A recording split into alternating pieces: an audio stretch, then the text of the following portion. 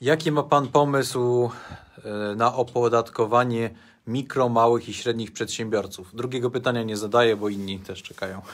No, Mam prosty sposób, po prostu nie powinni być opodatkowani. W ogóle.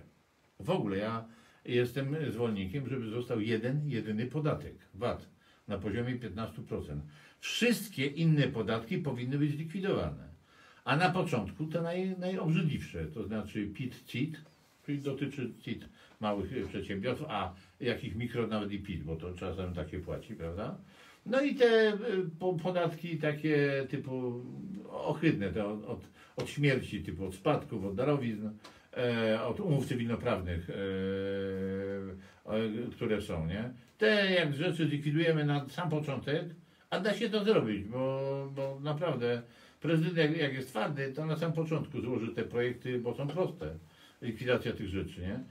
E, I zaraz na tapetę weźmie szefów partii.